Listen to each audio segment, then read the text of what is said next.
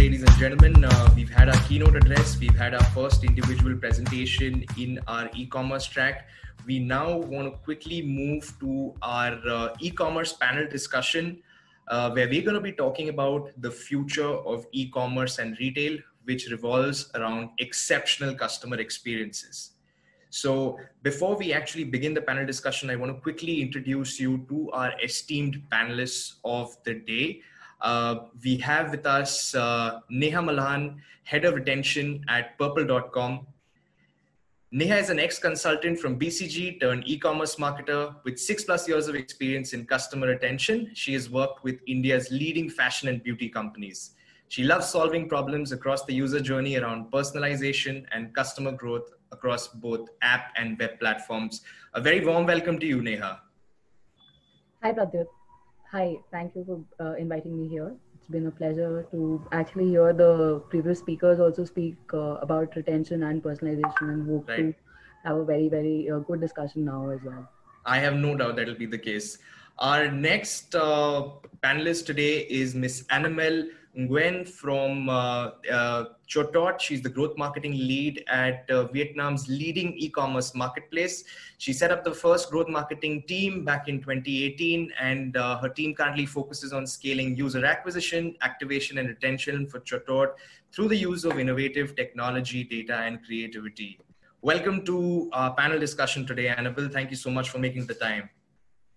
Um, thank you, Frederick. Thanks for having me in the panelists. Um, I'm I really impressed with all the presentations so far, and I, I hope that the panel will bring you a lot of informative um, insights. Thank you. Awesome. So uh, we actually have a couple more panelists with us today. Uh, we also have uh, Sreekanth Chetlur, the head of digital at uh, Matahari, uh, the leading retail and e-commerce player in Indonesia. And we also have Mr. Maruthy uh, Ramgandhi, the CPTO at uh, Bewakoof.com. Unfortunately, they're having a few issues connecting at this stage, uh, which means that uh, we would be delighted if they could make it to the event at certain points. But, uh, you know, as they say, the show must go on.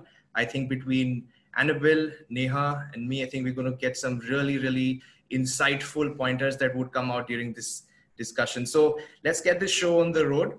Uh, my first question to you, ladies, is um, you know, we've spoken about omni-channel personalization that has emerged as a major conversion catalyst and pillar for great customer experiences, particularly in e-commerce over the last few years. So, uh, Neha, as a rapidly growing e-commerce subcategory in the cosmetics and beauty domain, how does Purplle view personalization? Thank you. Thank you, Pradeep. So, uh, personalization, I think, is one of the buzzwords uh, that keeps getting thrown around. And what it typically means uh, for something like a Purplle, uh, where uh, it's a beauty player, is a little different versus, say, uh, when I was in say, Myntra and what it meant for fashion. So, to put things in perspective, for beauty, everyone's skin looks different, right. is different. from the texture to the concern. So even if you had, say, a combination or a dry skin, uh, your issues might be acne or pigmentation or something else. So beauty right. inherently as a category uh, is very very aligned to the fact that personalization is where uh, it helps to help conversions or even engagement going.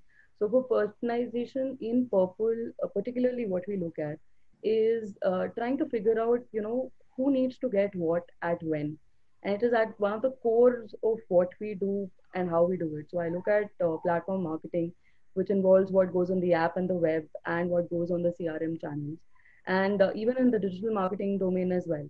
And all of this uh, beautifully ties in to make that customer journey happen. Because uh, say you bought something or you're considering to buy something, then there are so it's different for a new user. So because you need to allay the fears of the fact that he's buying something online instead of offline.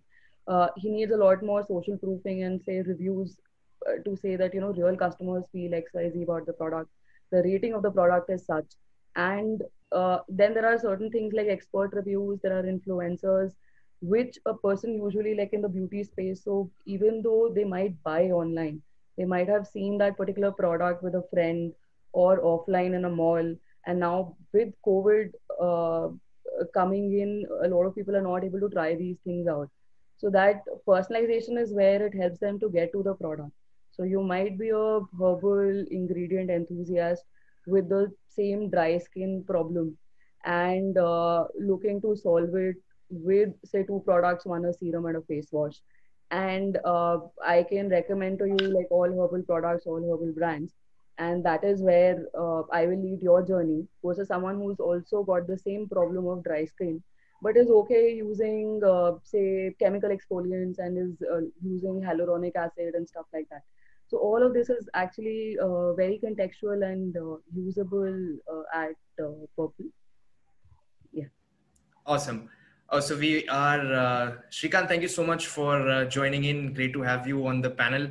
Uh, we kickstarted the conversation around omni-channel personalization and how it's a major conversion catalyst. I wanted to know from you, Sreekanth, specifically, how is it at Matahari, especially a company that uh, operates both in the offline and online retail space? How are you guys being able to deliver these personalized customer experiences? Right. Uh, good afternoon, everybody. Apologies for being late. I think the the, the event got delayed a bit. So uh, so yeah. Uh, now, interesting question. Um, so it's been very uh, important for us initially to establish a single view of customer. So what that enabled us was that we were able to uh, look at how our customers were reacting with our brand across uh, multiple channels, be it uh, our direct to customer channels of brick and mortar or our uh, our e-commerce as well as uh, some of the other partnerships and affiliations we have with uh, with with with the overall ecosystem in Indonesia.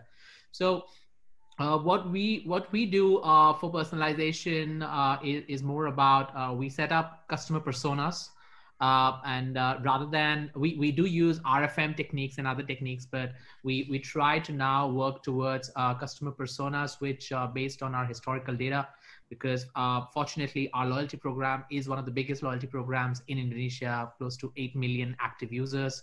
Uh, so what that enables us is that uh, it gives us a really rich data of our customers and which goes all the way back to uh, back to decades because we have our loyal customers all this while and with the with the digital adoption it gets even more interesting because we know how the whole research online purchase offline aspects we can start seeing uh, considering we, we've done all our integrations with regards to uh, the point of sale as well as our digital channel integrations, which is all coming in together in a MarTech engine. So, so that helps us to understand where our customers are, how they're interacting. And then once, uh, once we know, we get that data from the POS with regards to this shopping behavior, uh, and also the frequency, uh, that that that helps us to create some tailor-make uh, segmentations within on-site journeys where we, we try to do uh, a lot more on the product recommendation side. Uh, we try to try to create some bespoke solutions around the homepage itself. On the homepage side, on personalization, we're still in a pilot phase. Uh, but on the product recommendation side, with and shop the look side, we we have started doing a lot of these AIs, which is gathering in data for our, customers across channels. So that that's been very powerful for us. We're yet to go to uh, the ideal scenario of one one is to one targeting, but I, I think it, it it has to be a journey. Uh, based on my experience, it's not something you can do overnight. So it is important for you to set the precedence right. Start looking into uh, your your active customers, how they behave with you with your brand across channels, and then uh, try to create clusters and zones and try to uh, then manage them accordingly after you create these personas amazing amazing insights especially uh, you know for a company like yours where it's so critical to develop that unified customer view across both offline and online channels and it puts so much more emphasis on you developing that solid customer data platform in place that helps you create those engagement and retention strategies in the future. Awesome. Uh, i now come to miss Annabel. Uh, how does Cho Tot personalize digital user experiences at scale, especially in an increasingly tech savvy market like Vietnam? Thanks for the question. So, um, thought personalization is always at our core strategy for growth. So, the key to personalization for us is lying in the combination of data, user centric mindset, um, marketing technology tool, and creativities. So, we are using machine learning to recommend products that our users are looking for. Um, seems like similar like what Neha had just told, share with everyone. Depending on the stage of user and their shopping behavior, we are recommending products that they are looking for, uh, products that they might interest on and want to explore. So the other pillar we are focusing on is through what we call user relationship management. So it's like customer but user in our sense, which includes uh, push notifications, email, in-app, and SMS, like messaging. So we're striving for personalization in communication through the most simple one, like uh, we mentioned the username in the push notification sending to people, or to more complicated things like the weathers of the mm-hmm. certain regions as our user across the country to the most sophisticated one, like what we call personal shopping assistance.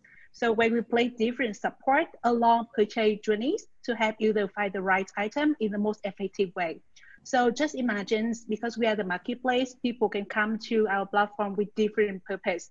We, if we know that the user A is likely researching the market, not yet buying yet, but, but they want to research how the price of the certain products look like. So if we identify that person, we point them to the features uh, price comparison. So all of that um, personalization has been set to trigger by the user's actions or staged to ensure the real-time services we provide. Yeah. Awesome. Awesome. I think that point that you mentioned about personal shopping assistance that that is continuing to grow in popularity especially in uh, you know the indian and southeast asia region as well. Uh, we do something similar for a lot of our e-commerce brands something along those lines where we create a personalized boutique or a virtual storefront and it's composed of only those products that a user is most likely to click on add to cart and purchase so uh, it's uh, it's similar in that sense because it's a specially curated list of only those products that are most relevant to a user. So we do that for a lot of our e-commerce customers as well. Thank you so much for those amazing insights. Uh, we come to our next question. You know, so by the end of 2021, they say that mobile devices are expected to contribute almost 70% of e-commerce transactions. Now, in this backdrop, uh, are you treating your users on your mobile site and your app differently? And what's been working for you guys in terms of retention? Uh, either one of you, um, any one of you can choose to answer this first.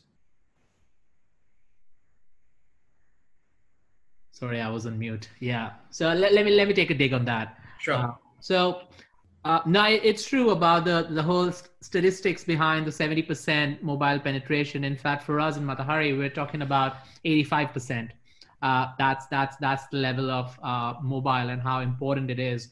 And and mobile is not just about the app, right? It's the true. mobile web as well. Um, is equally critical uh, uh, uh, because and that usually that becomes your primary primary channel for traffic. Though the conversions can be a lot higher on the app. Uh, so, so the, the way we have been seeing that is uh, uh, uh, from from a day-to-day trading aspect, from a commercial aspect, we try to we try to try to monetize as much as we can on the app by by by allowing let's say any particular products or promotions which are visible only if you download the app and view it. Uh, we have been doing that and that's been very successful because we know the conversions are much better out there and uh, that is an enough uh, motivation or incentive for a customer to go all the way and uh, download the app. Uh, so that that's one. But in an omni-channel setup, um, mobile also becomes a very important communication channel.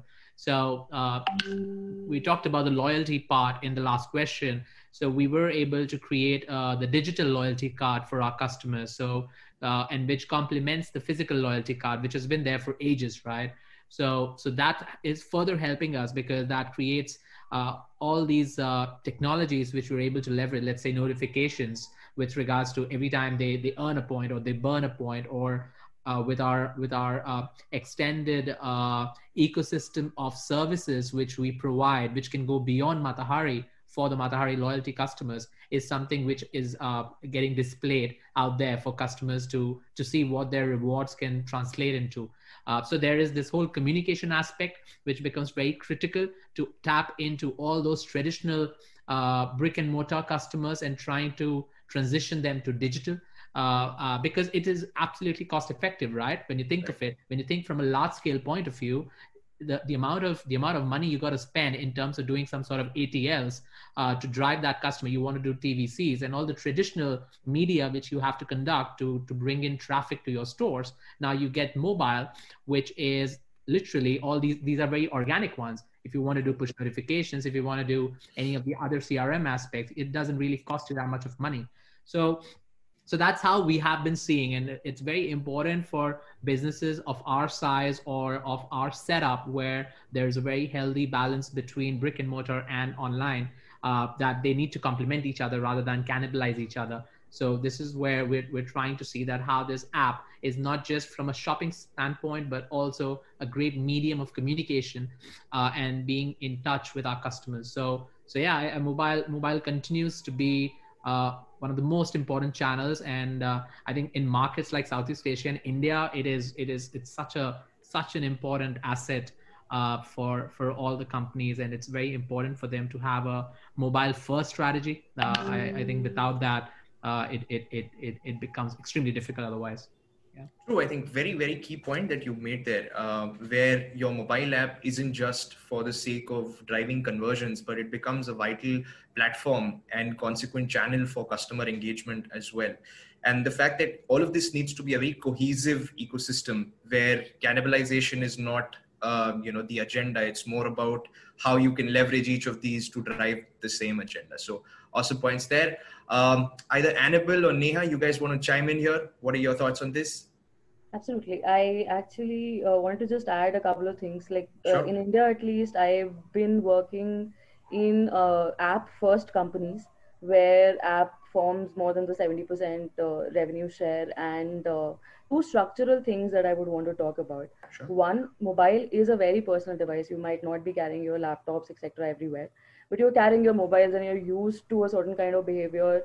And the categories we are in some of these are not need based there some of them are impulse based so it's just like a time pass thing that you would come and um, want to engage want to learn more. Uh, just also browse and add to cart and probably keep it for the end of the month or the start of the month to shop.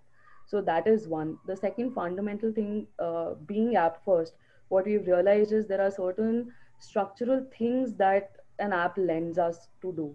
Like gamification lends beautifully on the apps compared to web. Uh, the fact that there is a range of your thumb, so your designs, your UI, UX, uh, the readability, the fact that a scroll is less costly versus a, uh, a vertical scroll is less costly versus say a horizontal scroll. So all of these are like some of those decisions which help us also create more user first user led uh, ways for him to ease his navigation and even create impulse. So it is easy to do like a swipe and get like a gamification action done on a mobile and then also reward people on a very or a, a very simple thing like a scratch card. So all of these are like those growth hacks that lend very beautifully to this device platform. And us being app first also like uh, Sreekanth mentioned the fact that you have the app and you have it logged in gets you that one exact direct point of contact to reach out and also trace it back. So with all your other channels you are not able to trace that you know i did some marketing and rnf campaign and uh, some people would have come but they would show as direct audience or direct installs. So that way uh, in india at least the app first bit helps both ends of the business both the customer and the uh, people who are marketing as well a very interesting point there that you mentioned uh, about how being mobile first actually opens up an entire Pandora's box of data points for you. And these data points actually go on to connect the dots that you want to when you're building that seamless user experience across platforms and channels. Awesome. Uh, all right. Uh, in the due interest of time, and also because this is supposed to be a breezy, insightful session, I'm going to move to my final question for you guys. Um, so delivering triggered personalized emails or push notifications is important for customer engagement. You know, that's something that's a given, it's uh, established. The absence of this can actually lead to either drop offs in terms of your app usage, or it could also lead to uninstalls. So I just want to understand from your point of view, what steps are you taking at the brand level to um, prevent this from happening? We'll start with Miss Annabel. Thank you. So um, I absolutely agree with you on the importance of trigger personalized notifications. I remember when we interview users about how they feel about notifications. And I remember almost all of them say they hate notifications. So not a surprise, right? But when we went on to dig a little bit deeper, we found that they don't really hate notifications. They just hate the notifications that are irrelevant. That became the motto for our, for our CRM pillar, how to make the notifications and email more relevant even more than that, how to make users actually happy when receiving notifications from us. So what we are doing is like four steps. The first one is like mapping user journeys to identify which moment that those should facilitate. The second one is enriching user data. So we try to collect more user data to really understand that moment, how it can be quantified um, and, and recognized on our platform when it comes to data. The third step is like reorganize our data structures on, on Braze. We use Braze as a marketing automation platform. So, and finally, we're adding a little bit personality spices for the notification copy. So it actually really uh, specific for, for not only, and it make people can smile when they receive notifications. So I can give you one example. The most successful push notification loop that my team has built is uh, we call save ad loops. So basically, when a product we call is uh, an ad be saved by buyers, we push to seller telling them that their product has been saved by a lot of people and getting a lot of attention. Do you want to consider lowering, lowering the price a little bit to sell faster? And when the seller lower the price, we again send push to buyers saying that the ads they have saved actually now at being lower price. Come buy before it's gone. So with that, we are able to facilitate the purchase effectiveness between like buyer and seller while gaining our daily active user at the same time. And our user absolutely love it. Some people even like um, very much like actively subscribe for our push notification to receive that kind of push notifications. So um, yeah, that is one of the most example that we think uh, contextual personalized trigger is very good. But um, in our experience, also not all personalized contextual notification got positive performance. So okay. we once ran a campaign calling horoscope in which we said like weekly fortune telling to either to say like how the week would look like and suggesting the category of the product that match the vibe of the week that personalized for them because it's based on their, their birthday. The results were actually good for the first few weeks. And then the direct open rate keep dropping. And okay. then we optimized for a few routes, but we didn't really see much improvement from that. So we had to decide to drop the campaign the big key lesson learned. Like even though is it personalized, is it conceptualized, is it fun, it is fun, but if it does not bring direct benefits to users, it shouldn't last. So yeah, basically oh, our makes, story. Makes a makes a very you, you made a lot of interesting points there because uh, at the end of the day, of course, you get to understand more about your customer behavior by studying the data points that are coming in uh, the fact that you mentioned that it has to be tied with direct benefit or value that's the only reason why they would benefit from communication of that sort. And also you know how you build a brand personality and communicate that over a channel like push notifications. You know you want to be quirky you want to be funny you want to be sarcastic humor it, it's there's just like an entire gamut of uh, emotions that you can convey. So really interesting points there. Uh, Sreekanth, Neha, either one of you want to take a final stab at this one? Or uh, ladies first. Neha, please. Neha, there you go. Uh, I think uh, I'll just add one thing to it. Uh, there are different types of triggers and notifications for different goals. True. As long as that is maintained, they will give that purpose. So what happens is sometimes we get into the trap of getting into only revenue. Some of those might just be engagement triggers. I might not send a flat X percent off or a coupon. I might just want to make you see how the product looks or how it gets used or how it would probably you know combine with your beauty routine to exactly benefit you. And in that case i should only be measuring it on say the engagement it drives may not drive a next purchase. So that is just one uh, additional thing. And that is the goal definition defines the trajectory of this personalization. So we might just not chase after the wrong metrics in the hope of saying that you know the personalization's end goal is only going to be revenue. True I think uh, the fact that you tie the objective of the triggered campaign with the benefit that you're trying to deliver and you map the right metrics because at times you're just sending out a transactional message which may be personalized because it's related to an order. Uh, at times you are informing users about you know an item that's come back into stock. So the objective would vary the metrics would vary accordingly. Thank you so much for sharing that neha. So maybe, maybe I'll, I'll just add one last sure. comment this, go ahead Sreekanth. I, I think it, it, should go out for uh, it's very uh, industry agnostic and everybody uh, should should and it's an overarching theme that you got to do a whole lot of a b testing on this.